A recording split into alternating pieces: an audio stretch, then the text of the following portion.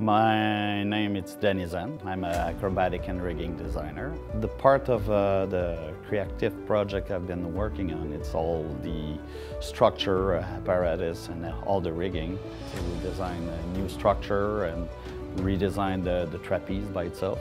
Try to improve and give a touch of love in it. My name is Pascal Richer. I'm involved with production direction. It's definitely a space that has a storytelling and, and definitely a design with a soul of itself. During your vacation, you just don't want to rest. You also want to be your better self or your best self. I think people will find that in that space.